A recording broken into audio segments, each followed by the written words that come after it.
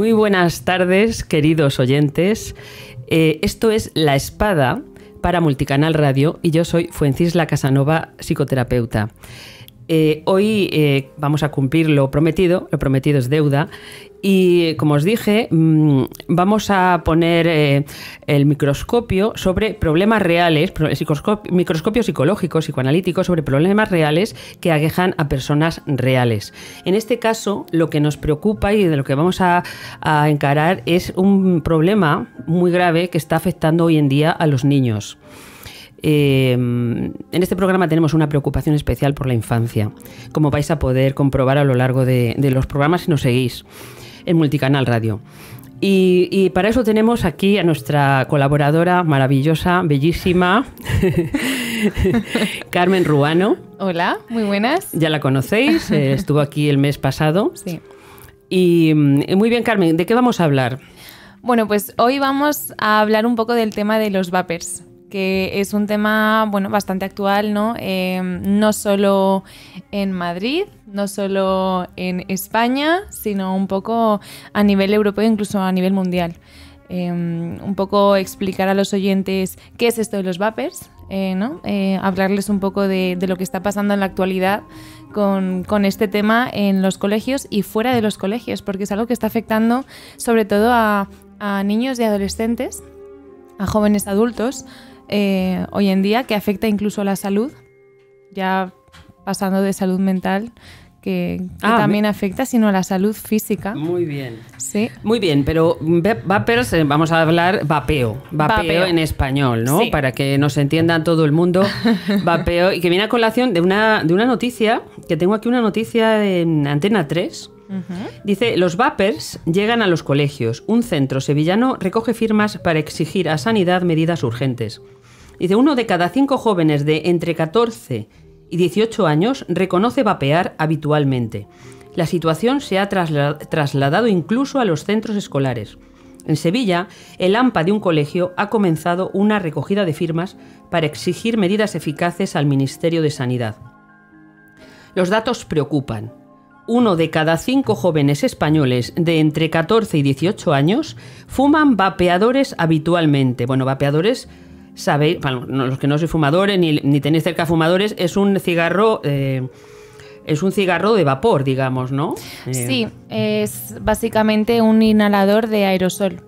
O sea, se, se inhala aerosol y, bueno, actualmente tenemos los, los vapers, ¿no? Lo que son los vapers, que son como los cigarrillos electrónicos, ¿no? Que es esta inhalación que la gente, bueno, en general se piensa que no tienen nicotina porque no son los cigarrillos son convencionales. Creen que son eh, Y que efectivamente sí que tienen nicotina, ¿no? Y también son, bueno, pues igual de adictivos y además tienen, bueno, eh, sabores eh, y otras sustancias químicas, ¿no? Entonces, actualmente sí que es verdad que es algo, bueno, bastante nuevo, entonces tampoco hay muchas estadísticas o muchos estudios a nivel de salud, ¿no? que obviamente actualmente sí que se están haciendo, pero mm, bueno, pues tampoco tenemos muchas, muchas cifras. Lo que sí que sabemos es que es dañino y, bueno, y ahora está como de moda, por así decirlo, entre los jóvenes y jóvenes, muy jóvenes. Eh, como, como has dicho tú y como dice la noticia, en colegios. Y hay bastantes noticias que también tengo yo aquí, eh, de diferentes eh, canales, de diferentes incluso países, ¿no? Países europeos en los que están prohibiendo el uso de, los vapers. Em, pero fíjate, querida, sí, es así, pero ah, fíjate que lo mm, se, hace una encuesta ya de tabaquismo. O sea, estamos hablando de, una, de un hábito, de una adicción que se asimila al, tabaquismo, solo que se da en niños menores de edad, ¿no? Que parece menos. Cual es muy grave. Totalmente, parece menos. Es como fumar cachimba, ¿no? Pero en un, en un, en un objeto súper pequeño. Y, sí, sí, o sea, había una noticia hace no mucho tiempo, eh, bueno, que los padres tampoco lo saben, ¿no? Entonces se piensan que tampoco es dañino, eh, de una niña de 10 años que le regalaron un vapor por, por su comunión. Eh, y ya te digo, en colegios. Ahora mismo, por ejemplo, en los colegios estamos eh, haciendo muchísimas charlas, ¿no? Como eh, otras charlas que se hacían antiguamente y se siguen haciendo a día de hoy. Por ejemplo, eh, charlas sobre la educación sexual, charlas sobre el uso de las drogas, ¿no? Pues una charla que actualmente está bastante presente en los centros escolares es la charla de los vapers. Em, en tu colegio, por ejemplo, donde tú sí, Sí, hablo a nivel general en, los colegios y en mi colegio ya ha habido dos en lo que llevamos de curso y llevamos cuatro meses. Eh, porque es algo, es algo grave. O sea, em, los niños vapean en el colegio, los padres compran los vapers, de nuevo, porque a lo mejor no saben ¿no? lo dañino que, que de verdad son, e incluso los niños pequeños que no pueden, pues los niños mayores les compran los vapers y los venden dentro de los centros escolares a los niños pequeños para que ellos también puedan hacerlo. Em, aquí tengo una encuesta. O sea, los niños mayores a los pequeños. Sí, sí. Pero eso es una red ya de, mafioso. De... Y, no, y, en varios colegios. En varios colegios es como, como trapichean ahora, entonces los pequeños quieren empezar a ser guays, ¿no? Porque el que vapea es guay. Y, está empezando a ser un problema porque hay niños de segundo de la ESO, primero de la ESO, están empezando a vapear y eso es pura nicotina. Eso es pues compuestos químicos, eh, aerosol, ¿no? Que, que, inhalan sus pulmones y obviamente es completamente dañino, ¿no? Obviamente hay un fondo, ¿no? El, el ser guay, el poder encajar a nivel social, ¿no? Es bueno, pues una moda más, ¿no? Como el, lo que era... Bueno, es una moda más, sí, pero habrá más detrás de, sí, bueno. de una adicción oral, como es esa, ¿no? Totalmente. Es una, fijación oral. Sí, totalmente. Y, y, de verdad que es bastante preocupante el hecho de que los niños mayores eh, los estén vendiendo. Obviamente como centros estamos muy encima de ello e intentamos que no, ¿no? Pero, pero he escuchado eh, que de verdad se han vendido, ¿no? Por personas cercanas de que han intentado vender a mi hijo un vapor o, o que les han pillado. ¿Dónde lo has sacado, no? Porque quiero ir al sitio donde lo has comprado y denunciarles. No, es que me lo ha comprado el hermano mayor de fulanito, ¿no? Y los propios padres. Eh, y de verdad que es un problema que hoy en día están saliendo muchísimas noticias de ello, es completamente nuevo y incluso pues encuestas, hay una encuesta aquí del 2020 que, fíjate que solo hace tres años un 10% de la población de 15, desde los 15 años, ¿sí? Eh, vapea, eso es una de cada diez personas. Qué barbaridad. Es, sí. Entonces, eh, obviamente hay un fondo. El tema de la presión social, el poder encajar, ¿no? Eh, muchas veces incluso el, poder copiar a los padres, ¿no? Hay muchos padres fumadores y a lo mejor el fumar un cigarrillo. Eso vamos a hablar muchísimo aquí, del ejemplo, del ejemplo, del poder del ejemplo para bien y para mal. Sí, y para mal. Totalmente, y muchos padres fumadores que a lo mejor los niños también quieren llegar a ser como ellos y como el vapor parece menos, ¿no? Hmm. Parece que no es un cigarrillo, que no daña, parece menos, tiene sabores, ¿no? Es guay. Pues, pues lo compran y lo fuman. Y de verdad que está siendo un problema actual bastante, bastante grave. Lo que yo veo también es que tiene que haber algún tipo de bueno, capacidad de poder adquisitivo en los niños que compran los vapers porque mm, no sé no sé si eso será eh, así en toda la en toda la todas las clases en todos los grupos sociales mm, porque el poder adquisitivo también es importante vale tiene un precio los es caro caro comprar un tienen un precio, pero tampoco creo que sean muy caros. O sea, creo que son bastante asequibles a nivel económico. Eh, pero claro, sinceramente yo no vapeo, así que no, no, sé mucho sobre el precio. Lo que sí que sé es que es a nivel general, porque he visto noticias de, colegios públicos, de colegios privados, ¿no? Sí, sí, eh, da igual. Un poco, sí. Y incluso lo que decía antes, que no solo en España, ¿no? Sino que también a nivel europeo hay muchos países, ¿no? Que, que los están prohibiendo. Entonces no sé hasta qué punto, ¿no? Eh, es eso. Lo que está claro es que, bueno, es una moda. Eh, es algo nuevo, ¿no? Llama la atención, tiene sabores, además es muy guay, ¿no? ¿Qué sabor tienes tú? El mío es de melón, el mío es de sandía, el mío es de... Y, bueno, es dañino y no son conscientes. Y las charlas en las que hemos dado no, no son conscientes de ello y simplemente, mm, bueno, tiene más refuerzo a lo mejor el poder encajar, el ser guay, que no vapeas que no vapeas, en serio, pruébalo. La presión social que tienen ahora mismo también, ¿no? Sí, eh, Que eso siempre ha existido. Eso lo hemos sufrido con el tabaco. Totalmente. Sí. Se empezaba a fumar por eso, por ser aceptado, por ser uno más del grupo, por no tener ser el raro que no, que no, no, encajas, que el que fumaba quería que todos los que estaban a su alrededor también fumaran, de alguna manera, ¿no? Como el que bebe, ¿no? Eh, generalmente una persona que tiene una adicción quiere, no quiere ser el, único también, el raro, ¿no? Que solo él bebe, quiere que los demás beban con él. Sí. Eh, lo beber, beber, en solitario cuando se está en grupo, eso no, no, es, no, no, mola nada, ¿no? Pues eso mismo está pasando, está pasando ahora. Entonces, la, la cosa es ahora, eh, bueno, a nivel legal, ¿no? Los, los diferentes países están tomando medidas, pero nosotros en los centros, ¿no? nosotros como psicólogos, ¿cómo, ¿cómo ayudamos a los jóvenes a solucionar esto? Porque al final acabas siendo una adicción. ¿no? Algo que empieza siendo social acaba siendo una adicción como cualquier otra sustancia, el tabaco, el alcohol, incluso las drogas. Y esto es algo más, lo que pasa que eh, a simple vista parece algo mucho más inofensivo que, el resto de, bueno, de sustancias que se consumen. Em, sí que es verdad que en terapia yo, eh, los alumnos que, me han dicho que, que vapean, que son bastantes, y de todas las edades. Eh, Al menos lo confiesan, ¿eh? Bueno, sí, pero porque es algo guay. O sea, lo confiesan porque es como, yo vapeo. Y, no les importa, ¿sabes qué pasa? Que en los colegios además es muy complicado este tipo de control porque eh, nosotros como centro no podemos eh, hurgar en las mochilas de los alumnos, son objetos personales. Entonces normalmente, bueno, están en los baños, sitios que tampoco podemos entrar porque son lugares privados, ¿no? Eh, entonces es muy complicado todo esto y, los colegios de verdad que ahora mismo, mm, bueno, pues estamos intentando lidiar con ello, ¿no? Em, pero bueno, al final sí que es verdad que tiene un fondo y es lo que tú decías antes, que es el poder encajar. Poder encajar, sí. Y al final el poder encajar, eh, bueno, pues... A cualquier precio, vamos. Claro, a cualquier precio e incluso a precio de, tu salud, ¿no? Y eso hay que trabajarlo, ¿no? ¿Qué hace que, tengas que fumar para poder encajar? Obviamente hay un fondo, aparte del fondo social, ¿no? Eh, pues la autoestima, el cómo te ves tú de cara al resto, lo que tú decías, los modelos, el modelo que tienes tú, ¿no? Si estás a lo mejor en una familia de fumadores que han fumado toda la vida, ¿no?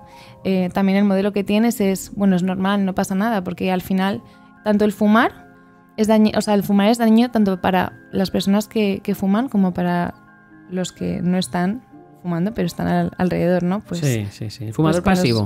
totalmente. Pues con los vapers pasa lo mismo. Entonces, al final, bueno, depende también un poco de cómo se, se llega a esto en casa. Ya te digo que hay padres que también eh, los han comprado, ¿no? Eh, a que tú no le comprarías un cigarro a tu hijo. Pues el vapor tampoco. Entonces es un problema, bueno, que tenemos bastante eh, presente actualmente, tristemente. Lo que pasa es que yo creo que las familias hay veces que tampoco saben cómo gestionar todo esto, ¿no?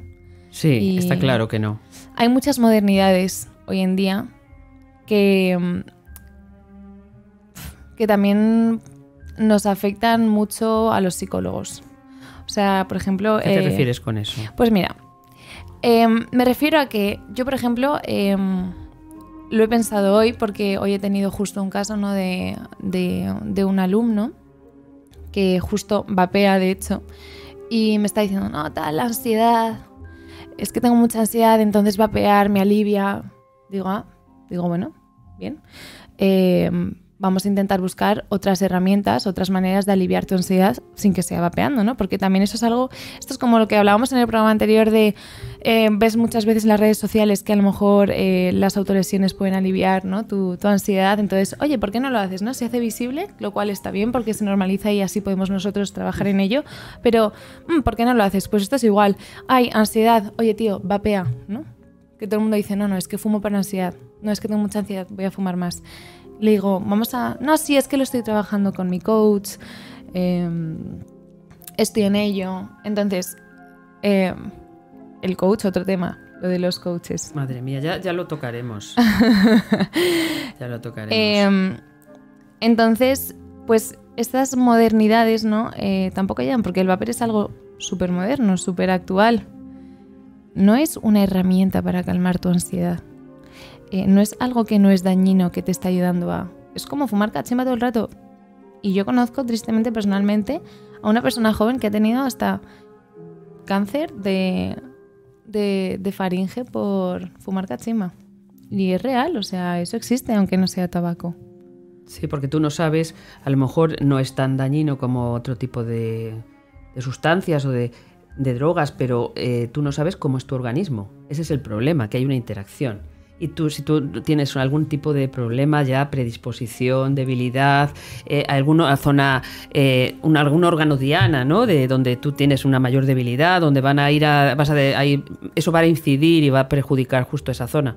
Pues al final eh, tienes un, te estás golpeando, te estás golpeando y vas a tener un problema. Que a lo mejor otra persona no lo va a tener, pero es que a priori no sabemos dónde tenemos nuestros puntos débiles. Y los jóvenes que se piensan que son inmortales, por supuesto, ¿no? Ah, bueno, sí.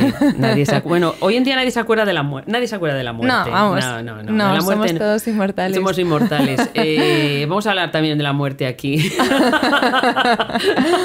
un tema curioso. Eh, es un tema, eh, pero que los niños lo, lo, tienen, ese pensamiento, el pensamiento de muerte. Yo me lo he encontrado mucho, ya que hablamos de esto, el pensamiento de muerte y la preocupación por la muerte, su propia muerte, la de sus seres queridos, la de sus abuelos, la de sus padres eh, pero no, lo, no se atreven a hablarlo porque los adultos lo han desterrado. Hmm. El tema de la muerte es tabú. Tabú.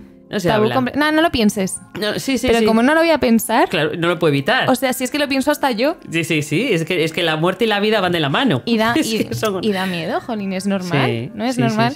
Pero sí, el tema de la muerte es un tema curioso, ¿no? Porque, porque sí que es verdad que les da mucho, mucho miedo. Llegan a una edad ¿no? en la que obviamente empiezan a entender de verdad lo que es la muerte, porque cuando son más pequeños no son conscientes, yo creo, de, de, lo que significa. Es muy abstracto, es, es, un tema complicado hasta que a lo mejor no, no sufres el fallecimiento de, de alguien cercano, ¿no? Exactamente. Y ni eso. Y ni eso, porque a veces se le oculta a los niños, o sea, fallece alguien o hay una enfermedad grave y se le oculta o se mantiene al margen de mm. ese problema que es real y que es de la, como la vida misma. Pero igual la enfermedad, eh, los niños no son conscientes a veces o, no, o, los, o los adultos no son conscientes y por eso los niños no lo hablan de una manera. O sea, la capacidad que tenemos para enfermar. Porque, eh, por ejemplo, hablamos de los del vapeo y cómo puede ocasionar, que hay niños hasta de 8 años que ya están vapeando, mm. cómo puede ocasionar enfermedades en los bronquios, ¿no? Eh, problemas respiratorios, ¿eh? reactividad bronquial o asma. Entonces, mm, creo que es muy bonito y muy importante para, para, los niños poder hablar con sus padres, que sus padres se animen a hablarles de que existe la enfermedad, de que si hacemos que no, si no cuidamos nuestro cuerpo, ¿Eh? Pues, mm, ahora, ahora lo tenemos nuevo, ¿no? Con, un niño con 8 años lo tiene nuevo, con 10 años lo tiene nuevecito, mm. pero que mm, igual también se puede enfermar. Totalmente, eso lo hacen mucho con las verduras y el pescado, eso sí se hace.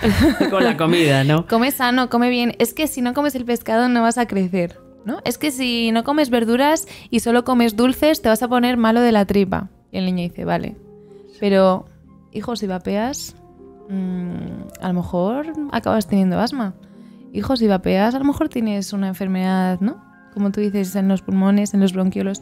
Eh, yo creo que en esto tiene una gran responsabilidad los poderes públicos. Totalmente. Enorme, enorme. Porque eh, igual que se prohíbe, se prohíbe tantísimo el tabaco. Eh, una cajetilla de tabaco aparecen en, en, las cajetillas aparecen imágenes eh, terroríficas, ¿no? De enfermos enganchados a máquina por haber fumado. Horrorosas. Horrorosas. ¿Por qué? Porque no, eh, hay campañas, de tantas campañas que se hacen, que yo considero muchas de ellas no sirven para, nada bueno. Eh, ¿Por qué no se gasta el dinero realmente de nuestros impuestos en hacer campañas para concienciar a los padres de un montón de cosas que hay que son... Mm, perjudiciales. Por ejemplo, mm. hablábamos en pasadas cápsulas de la espada, hablábamos de las pantallas. Sí. Hablábamos de las pantallas. Eh, ahora estamos hablando del, cigarro de... Del cigarrillo electrónico. Electrónico. También es que lo que tú dices es que, y lo que hablábamos antes, hay muchos padres que como es algo tan nuevo, no saben lo que es. Uno, no saben que su hijo vapea, porque ahora es vapear. ¿Tú fumas o vapeas? No, no, yo vapeo. Ah, no, entonces no fumas. No, no, solo vapeo. Ah, bueno, vale, entonces nada. Y no saben de verdad lo que lleva eso. Es que mm, tienen que llevar tantas cosas que no quiero ni mencionarlas. Pero los padres tampoco lo saben. Entonces, bueno, al principio sí que es como un. Pues como los móviles, ¿no? Papá, cómprame un iPhone que todo el mundo lo tiene. Papá, a lo mejor cómprame un papel. ¿Qué es eso? Nada, simplemente vapor de agua con, con un poco de sabor. Vale, tal. Y no lo saben. Pues. Mmm, padres, oyentes, sí. cuidado con los vapes y con los cigarrillos electrónicos porque no es vapor de agua con sabores, es adictivo y no es mm, beneficioso de ninguna manera para el desarrollo fisiológico ni para la salud mental de vuestros hijos. Efectivamente, y esto no lo, no lo vais a oír, queridos oyentes, en ningún sitio, en ninguna televisión. Eh, lo vais a oír solo aquí, en, en, Multicanal Radio y en La Espada, que, el, que hay que, hay que concienciar y hay que informar muchísimo a la población y a los padres mm, porque se, se, habla mucho de defender a la infancia, de, pero realmente yo creo que no hay nada más desprotegido hoy en día que la que la pobre infancia. Sí. Sí, la verdad, la verdad es que sí, que cada vez crece Está más, rápido. a peligros constantemente. Cada vez hay más cosas, más modernidades y cada vez crecen más rápido. O sea, yo ahora mismo veo a niñas y a niños de 13 años es que yo con 13 años es que no sé cómo explicarte. Yo tenía mis gafas, mi pelo rizado, mis brackets, mi, mi, outfit que era horrible, o sea, no tenía estilo ninguno. Y ahora les ves y es que parece que tienen 18 años. Eh, entonces, quieren ser mayores muy rápido y, muchas veces por ello no pasan por las fases que deben pasar. ¿no? Van muy rápido y, al final son personas en puro desarrollo, tanto mental como emocional, como orgánico, y, quieren ser mayores muy rápido y hacen las cosas muy rápido. Y hablo mm, a nivel de consumir eh, cualquier tipo de sustancia, hablo a nivel sexual, hablo a nivel conductual, ¿no? De todo. Y no pasan bien por las fases por las que deben pasar. O sea, es que yo a su edad a lo mejor estaba todavía jugando con un muñeco y no pasa nada, ¿no? Pero ahora mismo quieren ser mayores muy rápido. Y el tema de los vapers, eh, bueno, pues mm, lo demuestra. Lo demuestra porque aunque yo vaya primero de la ESO, veo que es algo guay, entonces cada vez fuman antes, cada vez beben antes, cada vez hacer todo antes y las, prisas que tienen son innecesarias. No disfrutan de la infancia. Quieren ser guays, quieren encajar y, habrá tiempo, ¿no? De tener tus 16 años, tus 15 años y de hacer todo eso, tus 18 años, tus 19 años, pero es todo muy rápido. Y, fíjate que en las charlas que hemos dado en el colegio, que ya han sido un par, em, he llegado a tener alumnos que han preguntado después de la charla, ¿y cómo hago si quiero dejarlo? Esa es la pregunta. Esa es la pregunta que estaba preguntando, me estaba preguntando yo. ¿Y cómo hacen? ¿Y cómo, ¿Y cómo pueden ayudar los padres a esos niños que de pronto el padre se da cuenta, nos está escuchando y dice, pues mi hijo está, si le he comprado un cigarro, ¿sí? ¿Qué puede hacer un padre? ¿Cómo pueden dejarlo? Eh, no sé, que eso es muy lo más importante. Sí, los colegios como centros hemos mandado bastantes comunicaciones ¿eh? y, bueno, no hay más que ver las noticias. O sea, ahora mismo tengo aquí yo cinco abiertas. Pero están saliendo noticias. ¿eh? Están saliendo y eso es porque es algo real y algo actual. Entonces, em, sí que es verdad que hay muchos padres que no saben o que esto existe tan siquiera o que su hijo tiene uno en la mochila, o dos o tres. Entonces, mira, hace poco tuve yo una situación en, el centro en la que, bueno, eh, unas, alumnas decidieron como abrir los bolsos de otras y coger maquillaje, coger, ¿no? Y, vinieron, bueno, las pillamos, ¿no? Y vinieron unas cuantas alumnas para reclamar lo que se les había robado. Bueno, pues reclamaron maquillaje, reclamaron 5 euros, 10 euros, ¿no? Y luego me venían a mí como algunas y me decían, oye, em, si reclamo el vapor que me han robado el director, llaman a mis padres, ¿no? Mm. Claro. Claro que llaman a tus padres. Uno, eres menor de edad. Dos, no puedes tener vapers en el colegio. Tres, mm.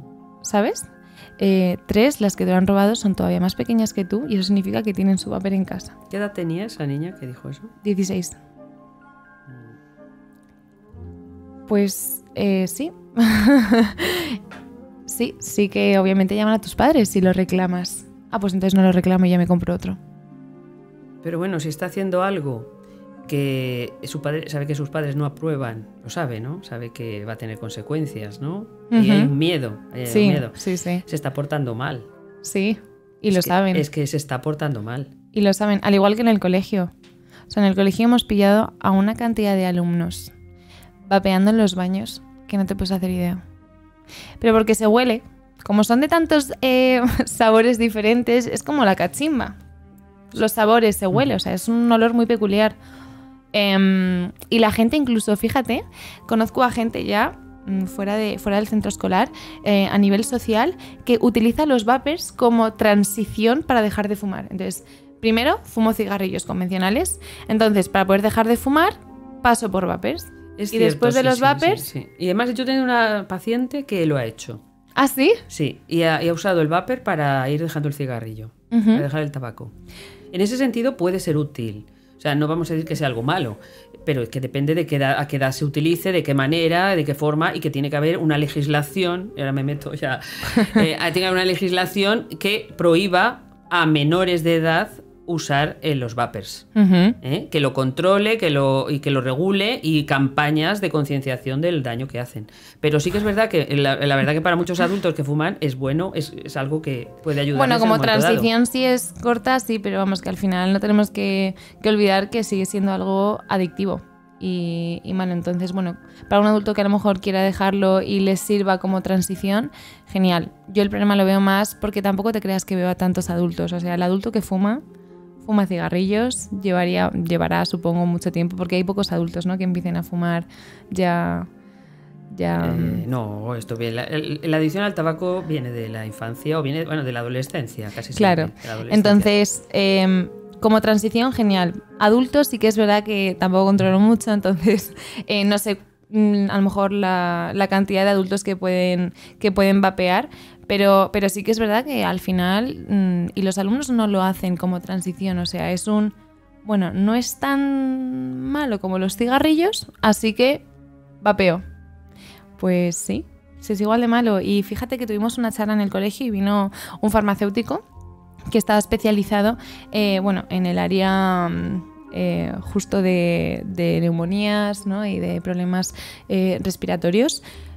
Y nos decía, chicos, aunque hoy en día no haya una enfermedad asociada, al igual que el cáncer de pulmón sí que está asociada a, a fumar, os digo yo que de aquí a 10 años las estadísticas van a decir que efectivamente vapear también causa Cáncer de pulmón también causa problemas respiratorios, cardiorrespiratorios. Son sustancias químicas innecesarias que metes en tu organismo. Lo que pasa es que como a día de hoy es algo tan nuevo y no hay em, suficiente información para poder meter miedo, ¿no? entre comillas, directamente pues, a, los que consumen los vapers, pues no se toma tan en serio. Mm. Pero de aquí a cinco años habrá y dirán, Vaya. Y es así. Ya será tarde para muchos. Y será tarde para muchos. Eso es lo que... Con eso empezábamos, que, que se me iba la idea. Eh, que los jóvenes se piensan, la, gente joven se piensa que la enfermedad es algo que ocurre cuando, cuando ya somos adultos, cuando ya estás en la vejez, cuando eres un adulto, ¿no? Y te viene. Y, a no ser que de verdad seas una persona o conozcas a alguien que sea joven y haya tenido una enfermedad, la enfermedad no existe en la adolescencia, la enfermedad no existe en la niñez, es que, ¿qué es la enfermedad? Y, el refuerzo que dan los vapes, no de soy guay, encajo, vapeo, a corto plazo, está lejos de eh, todo ese daño que me puede hacer a largo plazo cuando lleve 10 años vapeando, fumando, ¿no? Y, claro, se ve así. Y al igual que se ve así, se ven muchas otras cosas, ¿no? El, eh, el tema de, por ejemplo, las autolesiones que hablábamos en el programa anterior, ¿no? El, bueno, ahora me corto, ¿no? Y ahora mismo no me hace daño y no va a ir a más. Y dos meses después no tienes tres cortes. Tienes cinco cortes y en los dos brazos. Porque a largo plazo no se ven y no son conscientes de a largo plazo. Y con el tema de las adicciones pasa pues básicamente lo mismo, ¿no? Esa idea de inmortalidad cuando se es joven. Sí, sí, sí. y lo bien que está, ¿no? Porque lo disfruta muchísimo. Una preciosa, Forever Young. Una, Forever Young. Esa, esa, esa, canción, esa canción, la que tenemos todos en la cuando éramos somos muy jóvenes, ¿no? Sí, sí, sí. Pues así se sienten, Forever Young. Entonces sí que es verdad, bueno, que con este tipo de cosas lo que pasa es que mm, las consecuencias son a largo plazo y no a corto plazo. Es como la alimentación, ¿no? Si comes mucho azúcar vas a acabar mm, siendo diabético, vas a acabar teniendo problemas cardiovasculares, vas a acabar pues ya acabaré, ya acabaré teniendo. Y al final, como es a largo plazo, la gente nunca para hasta que lo tienes. Y ahí dices. Bueno, claro, eso nosotros diríamos que predomina el principio de placer. el principio de placer es algo, bueno, ya típico del bebé, ¿no? Se supone que al ir creciendo se va adquiriendo el principio del criterio de realidad, ¿no? Y bueno, los jóvenes eh, vapeadores, siento deciroslo, no tenéis criterio de realidad. Vivís instalados en el, en, el, en el, principio de placer.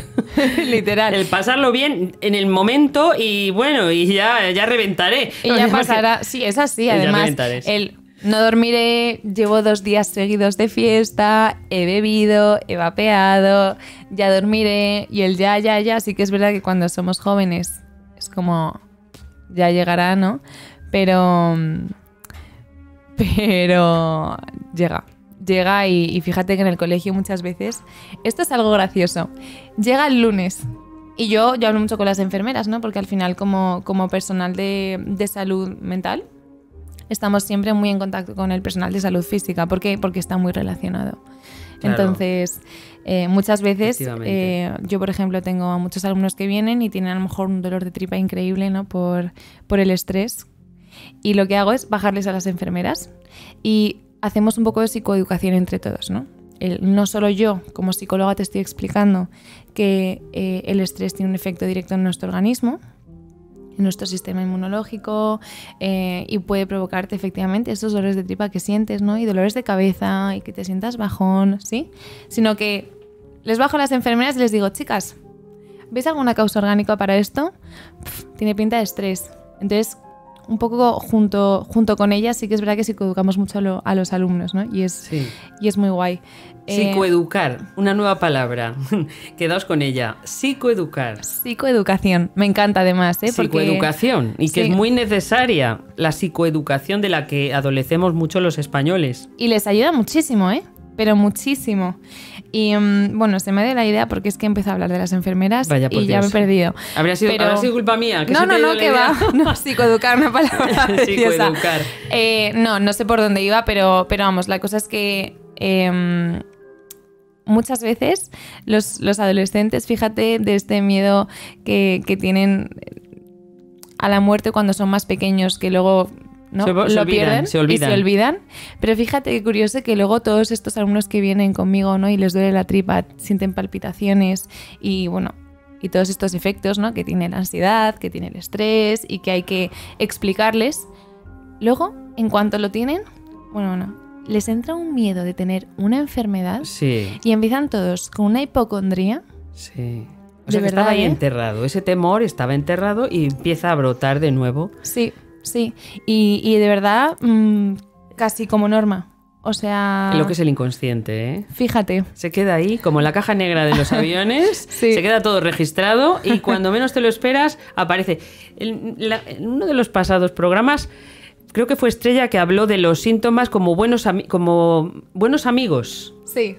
Porque algo no va bien. Totalmente. O sea, hablamos de estrés, pero muy genérico. Algo no va bien en la mm. vida de esos niños, ¿eh? sí. En relación a los estudios, en relación a su familia, en relación a, su, cómo se, relacionan y se conectan con el mundo, con los amigos. Algo no va bien. Y lo, yo creo que lo más importante es concienciar de que son problemas psicosomáticos eh, psicoeducar y llevarlos a las causas, ¿no? Llevarlos buscar, eh, bueno, eh, que yo creo que es una labor tuya, ¿no? Claro. Ayudarles a, detectar, a, descubrir cuáles son las causas, de dónde le viene ese malestar para poder resolverlo. Claro, claro, no, no, tienes toda la razón del mundo y Estrella también, eh, al igual que si a ti te duele la tripa, vas al médico porque sientes que hay algo que no va bien, ¿no? Pues esto es igual, si tienes un síntoma psicológico, psicosomático, eh, Como la fiebre, la fiebre es un buen amigo. Bueno, ¿quién lo va a decir, no? Pues la fiebre es un buen amigo, pero también eh, las palpitaciones es un buen amigo, ¿no? O ese dolor de, del estómago, ¿no? Ese dolor que me duele, se me cierra el estómago. Ahí, hay, un problema y hay problemas que no se están resolviendo. Que a lo mejor eh, conscientemente se intentan no mirar, ¿no? Y bueno, no pasa nada, no voy a pensar en ello, pero que al final están ahí, al final. Sí, sí, sí, Y, el cuerpo dice, bueno, pues ya que no hace caso a la mente, ¿no? Voy a hablar yo. Las emociones eh, están llamando a la puerta, están usando el cuerpo para, decir, estamos aquí, necesitamos que nos hagáis caso. Necesitamos, por favor, salir de alguna Queremos manera. salir. Sí, y, y, salen. Y fíjate que este miedo que decíamos de, ¿no? Yo creo que es como... Porque al final el tema de la muerte sí que es verdad que, bueno, hay, hay muchas veces que simplemente por no pensar en el malestar que te está causando. A lo mejor, bueno, pues te pones a pensar en otras cosas, ¿no? Eh, cuando somos pequeños, eh, sí que es verdad que se explica, pero mm, es más como, yo tengo muchos niños pequeños que me dicen, no, mi madre me dice que lea un libro, ¿no? Como para no pensar mucho en ello. Y el tema de la muerte, lo que tú decías al principio, es un tema completamente tabú, pero es que la muerte es algo tan natural como la vida. Y es algo que da mucho respeto y es normal que dé miedo, porque bueno, al final es el fin de la vida, ¿no? Em, pero sí que es verdad que es normal que a los niños una vez empiezan a, ser conscientes de ello, les dé miedo. ¿Cómo no te va a dar miedo el fin de la vida? ¿no? Si tú... Pues, pues fíjate, fíjate que me está em, que me parece que nosotros en estos, en estos programas de la espada vamos a ir de como encadenando un programa con otro, ¿no? Porque, porque hablamos del miedo a la muerte y, yo creo que también vamos a hablar del miedo a la muerte en otros programas y cómo los niños necesitan leer eh, cuentos de cuentos de estos populares, ¿no? Cuentos, los cuentos clásicos, porque ahí se afronta el miedo a la muerte. Que se ha perdido el, esa lectura, ¿no? Esas lecturas para los niños. Sí, y que luego al final cuando no se afronta bien o, bueno, eh, no se explica bien o a lo mejor no lo superan, es cuando en momentos como tengo ansiedad, ¿no? Voy a ver que, cómo me ayuda la psicóloga para poder afrontarla. Es cuando digo, ostras, palpitaciones, creo que tengo un problema eh, en el corazón. Y te prometo que he tenido muchísimos alumnos que, aparte de venir conmigo para poder gestionarlo, han ido al médico y se han hecho pruebas y pruebas y pruebas y pruebas para descartar. Eso está bien. Eso, está súper bien. Hay que ir al médico. Hay que hacer Siempre un, la primera cosa, totalmente. Pero hasta el punto un poco de obsesión de, bueno, el médico me ha dicho que no. Que no le creen. El médico me ha dicho que no, pero yo creo que se le escapa algo. Y yo tengo ahí mi presentación. Bueno, tengo una presentación increíble. Mi presentación de síntomas del estrés. Me pasa esto, y me pasa esto, y me pasa esto. Y digo, si es que te lo estoy diciendo, el médico te lo ha dicho, te lo estamos diciendo. No tienes nada. Tienes ansiedad. Y tenemos que trabajar el por qué tienes ansiedad. Mm, obviamente hay técnicas ¿no? para poder gestionar la ansiedad mientras se trabaja, porque no es un sentimiento nada agradable a nivel lleva físico. Lleva tiempo, lleva tiempo. Entonces pero hay lleva que, tiempo. hay que manejarlo un poco y poder aliviar ese malestar. ¿no? Claro, y el por qué lo tienes, totalmente. pico y pala, porque si no.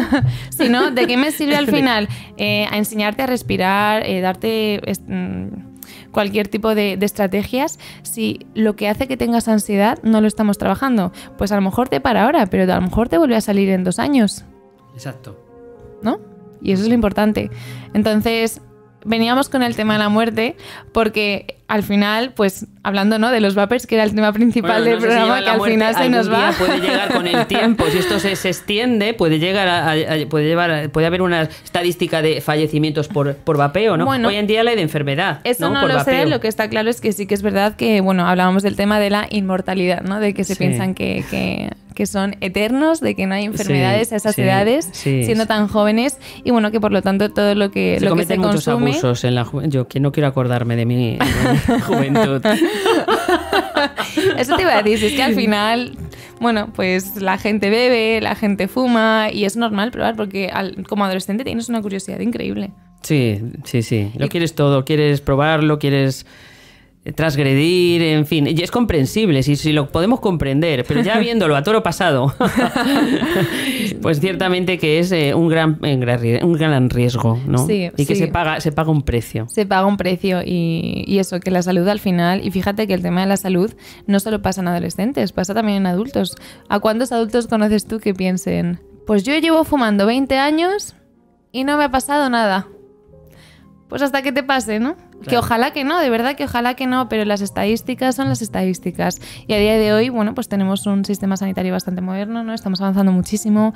A día de hoy hay muchísimos estudios, el sistema sanitario, eh, bueno, ha avanzado bastante, entonces a lo mejor hacer caso a estas estadísticas no nos viene mal. entonces, bueno, mm, también es lo que tú decías de los modelos, es que hay familias y familias, ¿no? Y también te digo, al igual que hay modelos de familias fumadoras en las que los propios hijos vapean, ¿no? Hay familias muy tradicionales que a lo mejor esa rigidez que, a lo mejor algunas familias tienen, ¿no? Hacen que el hijo quiera salirse un poco de la norma. Qué interesante. Es que es un arte ser padres, es muy difícil. el, el equilibrio, el término medio, ¿no? Sí. Demasiado permisivo, mal. Mm. demasiado mm, represivo, restrictivo, mal, mal. Eh, exceso de autoridad mal, ¿no? Mm. Entonces eh, hay que buscar el, punto medio y también a veces depende del hijo, ¿eh? Hay hijos que llevan mejor la, y que les va muy bien en una, tipo de educación más, más coercitiva, ¿no? Con más autoridad y otros que no, que no. Yo creo que es un poco como nosotros en terapia, que al final nos ajustamos mucho a las necesidades del paciente, ¿no? O sea, por mucho que nosotras tengamos eh, nuestro estilo, nuestra corriente, hmm, ¿no? Y todo, sí que es verdad que si al final hay algo de la manera en la que nosotros trabajamos que no va y no funciona con ese paciente, nos tenemos que ajustar, tenemos que moldarlo, ¿no? Y yo supongo que, que bueno, que los hijos es un poco parecido, ¿no? También. Sí, sí, bueno, y una, una, bueno, y seguirá existiendo. Yo a veces la utilizo. la psicoterapia centrada en el cliente en el paciente, Rogers, eh, es un clásico. Y, y, es que es eso, que te tienes que centrar muchas veces, eh, consigues muchos mejores resultados para esa persona, eh, mejores, mayores logros, si te adaptas y te centras en lo que él verbaliza, en lo que él necesita, en lo que él, aunque tú digas yo haría esto, esto, mm. esto, pero vinculas mejor también, al final tienes en cuenta las necesidades. Obviamente como, como profesional, ¿no? Sí que es verdad que sabemos más o menos ¿no? por dónde tirar, pero sí que es verdad que, y a mí me ha pasado el, el intentar hacerlo un poco a mi manera y no ha funcionado y he tenido incluso que, ver y, que consultar con, compañeros ¿no? Y, buscar nuevas ideas, porque a lo mejor con esa persona no funciona directamente. ¿no? Entonces es muy importante. Y esto fíjate que, también pasa a nivel educativo. ¿Cuántos alumnos, eh, toda la diversidad, vamos, cuántos alumnos hemos tenido que el profesor ha tenido como que trabajar de manera diferente o hacer unos ejercicios de maneras diferentes con, con esos alumnos? Porque no se les daba bien a lo mejor todo teórico porque no se les daba bien el seguir el ritmo de la clase, ¿no? Y al final es ajustarse un poco también a las necesidades de cada uno de ellos y no pasa absolutamente nada. Entonces, bueno, pues, pues sí que es verdad que, que independientemente de, de cómo trabajemos nosotras, que por supuesto siempre hay que seguir ¿no? nuestra, nuestra formación, nuestra experiencia. nuestra formación, nuestro, lo que, nuestro conocimiento y nuestro estilo, ¿no? Sí que es verdad que bueno, que amoldarse también, también está muy bien. Entonces, bueno. Mm, Entonces, ¿qué hace, ¿cómo se puede tratar el, vapeo? ¿Cómo se puede tratar? Es que fíjate que yo creo que al final em, es... Como cualquier otra adicción, como una adicción. O sea, eh, o sea, al final sí que es verdad que es una adicción, pero yo es que creo que el tema del vapeo, estoy, vamos, estoy segura de que es algo tan social y, el objetivo es encajar, porque eh, de verdad que lo que veo es que el objetivo es encajar. Entonces, yo el tema del vapeo siempre suelo trabajarlo eh, en cuanto a por qué quieres encajar, por qué sientes que no encajas. Exacto, ¿por qué sientes que no encajas? ¿Qué, carencias, ¿Por qué no encajas? Claro, ¿qué carencias sientes que tienes? Exacto, Y, por qué tienes la necesidad de vapear? Como para tener algo en común con el resto porque sientes que no tienes otras cosas en común. Exacto. Para parecer. Entonces, independientemente de la adicción, porque mm, no lo trataría como una adicción, por ejemplo, a las drogas, ¿no? Eh, lo trato más en cuanto a mm, qué necesidad tienes en ti ya, se me ocurre. Que te haga encajar. ¿No será un problema de, soledad? De, incomunicación? de comparación. y, porque mira, lo que nos hace vincularnos a los demás es el amor, pero el amor viene de la, también viene mucho de la comunicación, de, mm. de, la interacción, de cómo es nuestra conexión con los demás en cuanto a, física y también verbal, ¿no? Y yo creo que hay graves problemas de comunicación entre los chicos, ¿eh? Sí, sí, sí, sí. Y unas soledades terribles. Se sienten muy solos y, jo, es que además vengo, vengo ahora mismo de, del colegio y justo he tenido una conversación con, bueno, con una alumna de cuarto de la ESO, 15 añitos, y, y me decía, es una chica que aparentemente la ves con su grupo de amigas, está bien en el colegio. Aparentemente. Aparentemente. Aparentemente. Quedaos también con esa palabra. es importante la palabra aparentemente. No, pues estaba muy bien. Ay, pero si era una persona muy simpática, ha matado de 10 puñaladas. Sí, sí, y es así, y es así. Y aparentemente, pues tú Nada es lo que parece. No, no, y es una niña que en clase es de 10 y es una alumna mm. que es buenísima y tiene su grupo de amigos, aparentemente, ¿no? Aparentemente. Y justo hoy ha venido porque sentía un poco de malestar, estaba un poco bajona, ¿no? Y mm, me la ha traído una profesora. Eh, Oye, mira, tal, tienes este espacio con Carmen, ¿por qué no hablas un poquito con ella? Y ya cuando te calmes un poco, si quieres, te puedes subir a clase. Em, y hablando y hablando me decía, es que me comparo mucho con la gente y me comparo mucho con mis amigas. Y me comparo a nivel económico, a nivel de lo que me da mi familia y lo que le dan a ellas, a nivel de por qué ellas se han liado con algún chico y yo no, porque ellas ligan más y yo no, a nivel de em, ellas tienen más habilidades de comunicación y yo no, y son todas del mismo grupo, ¿sabes? Entonces la comparación también es algo, eh, dentro de lo que cabe, normal en el ser humano, ¿no? Porque sí que es verdad que incluso adultos nos comparamos. El problema es cuando esa comparación afecta, eh, bueno, de manera significativa a lo que es tu vida y al cómo te sientes contigo misma. Ya. Entonces, eh, esa comparación, cuando tú te ves un poco en desventaja con el resto, es la que hace que luego lleves conductas como voy a vapear para parecer más guay, voy a vapear como hacen mis amigas para poder tener algo en común, porque ahora mismo no veo nada en común con ellas. Y al final los adolescentes son, son, son personitas, ¿no? Como decía en el programa anterior, que se están formando, no saben ni ellos el cómo son, ¿no? Están formando su personalidad, el cómo son como personas, eh, son como un poco más independientes porque tienen cosas claras, pero siguen siendo jóvenes porque tienen niños porque identidad, una identidad estable, una identidad. Entonces, bueno, están un poco ahí jugando y sí que es verdad que a lo que iba, ¿no? Que el tema del vapeo y el tema de la necesidad de encajar viene por, por ese tipo de carencias, por la comparación constante que tienen unos con otros. Constante, es que vengo ahora mismo de hablar con una de ellas y, ella, por ejemplo, no vapea, pero podría perfectamente vapear si quisiera encajar. Entonces, a tu respuesta, a tu pregunta de cómo eh, poder trabajar esto, mm, yo creo que más que trabajar eh, la propia acción de vapear, eh, hay que trabajar, como, como siempre decimos aquí, ¿no? El qué te lleva a eso. El qué te lleva. El fondo de eso el que te lleva a sentirte mal contigo mismo en cuanto a la comparación que haces ¿no? con el resto, el que te lleva a sentirte mal, el que te lleva a tener esa necesidad de eh, poder encajar que sientes que no. Porque a nivel social, para los adolescentes, mm, los amigos y encajar en un grupo social es lo principal por encima de todo. Entonces, yo creo que, que van un poco por ahí los tiros. Muy bien, muy buena respuesta, muy buena respuesta. Eh, yo quiero decir algo porque me, parece que esto, estas conversaciones, estas charlas que tenemos contigo, Carmen, son muy, bueno, los oyentes les tienen que dar, mm, eh, hacer pensar muchas cosas, ¿no? Y plantearse cosas. Por ejemplo, ay, pues mi sobrino le pasa esto, o, eh, no sé, o tengo una, o mi hija tiene dolores de cabeza, tenido yo pacientes jovencitas con unos dolores de cabeza constantes, ¿no? Por ejemplo, ¿no?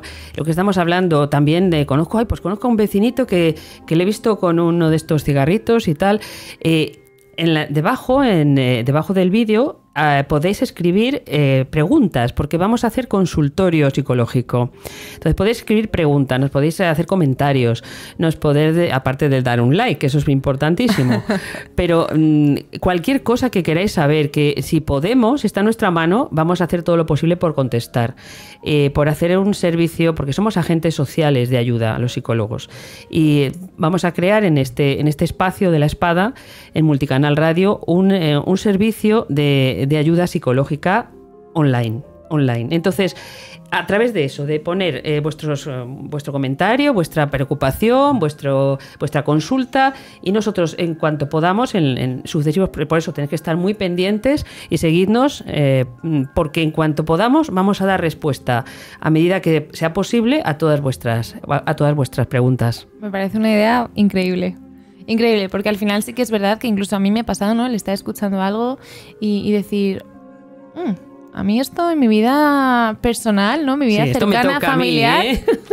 Fíjate que, y porque son temas de verdad súper cotidianos, ¿no? Los que, los que hablamos aquí. Psicología es eh, de la vida cotidiana. es algo común a todos. Sí. Es algo común. Luego, ya que se acepte, no es otra cosa, ¿no? Pero es algo común, ¿no? El, malestar e incluso el bienestar, ¿no? Que también la psicología es muy bonita y, también tratamos la felicidad y la vida bonita. Bueno, de eso se eh, trata, ayudar al ser humano a sentirse bien, a tener calidad de vida, a ser feliz. Claro. Ser feliz.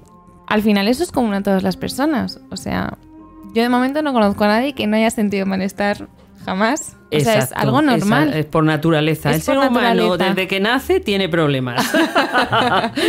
y así es la vida. Así, es la vida. Sí, se decía que una luna de la vida no es fácil. La vida es bonita. Me preguntaba ya, eh, así como cierro un poco de este, de este tema, pero me preguntaba eh, una alumna hoy, ¿y tú por qué te dedicas a esto? ¿Te gusta?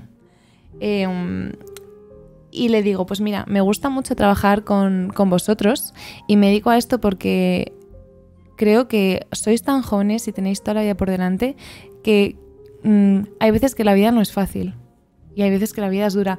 Y, y el poder ayudaros es como que es, daros ese pedacito de luz dentro de esa oscuridad que sentís vosotros, ¿no? Y, el poder motivaros a seguir adelante y a tener una buena vida. Y al final es, nuestra, es nuestro objetivo, ¿no? El poder ayudar a la gente porque todo el mundo se siente mal en algún momento y todo el mundo, incluso nosotras mismas, no hemos sabido en algún momento cómo gestionar determinadas situaciones, ¿no? Incluso nosotros también hemos necesitado ayuda y no pasa absolutamente bueno, es que, No que no pase, es que tenemos el deber moral de, haber pasado por, por, un análisis y por una terapia para poder sentarse en un sillón o ayudar a otro ser humano. Claro. ¿Eh? Porque si no, ¿cómo puedes comprender a, una persona? De los libros no, no comprendes, con los libros no comprendes a nadie. ¿eh? Por más teorías que estudies, es solamente en, tus, en tu propia carne o sea, esto es una muy, muy vivencial. Para poder ayudar hay que haber sido capaz a veces de ayudarse uno mismo. Sí, sí. Y, la verdad es que, bueno, al final es algo común, común a todos, ¿no? y es una profesión muy bonita. Así que la idea que has tenido de bueno, que la gente pueda comentarnos ¿no? las dudas que tienen en cuanto a las diferentes situaciones y todo lo que se habla en este programa, eh, me parece una tremenda idea porque no solo escuchan, sino que también podemos ayudarles a... claro, queremos que participen, porque nosotros estamos aquí porque vosotros estáis ahí, sois los protagonistas. Mm. Si no, no tiene sentido que estemos aquí. Entonces, queremos que seáis, partícipes de estos programas dándonos vuestros, eh, vuestras preocupaciones, vuestros, vuestras ideas, incluso proponiéndonos algún tema, ¿no? pues hay algún tema que os preocupa en especial porque hay algún allegado, algún familiar, algún amigo, alguien o vosotros mismos que lo sufre o que pues nosotros si podemos lo vamos a hacer, lo vamos a llevar adelante, lo vamos a tratar, pero no sabemos cuándo, lo vamos a ir haciendo a medida que podamos. Eso sí. Por lo tanto, están muy pendientes y, lo vamos a, y lo vamos a llevar juntos. Esto es un programa de equipo. ¿eh? Eso queremos. Vosotros y nosotros. Todos.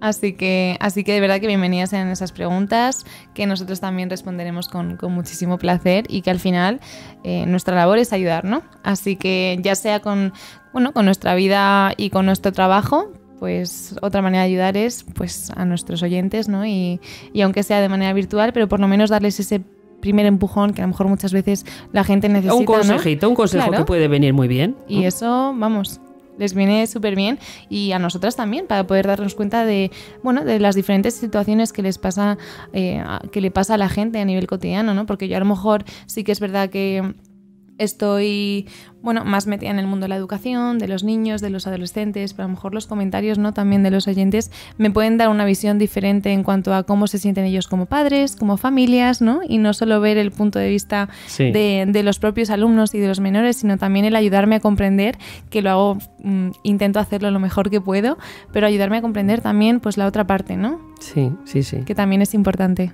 Bueno, querida, pues ha sido un placer eh, tenerte aquí con nosotros. Esperamos poder contar, contar con tu presencia en otros, en otros programas. Sí, el placer es mío. Y, tengo que deciros a todos que muchísimas gracias por estar ahí, que, que os mandamos un abrazo muy fuerte y que nos vemos en, en, el próximo programa de La Espada aquí en Multicanal Radio, que será el próximo martes a las 18 horas. Eh, muchas gracias y muy buena semana para todos.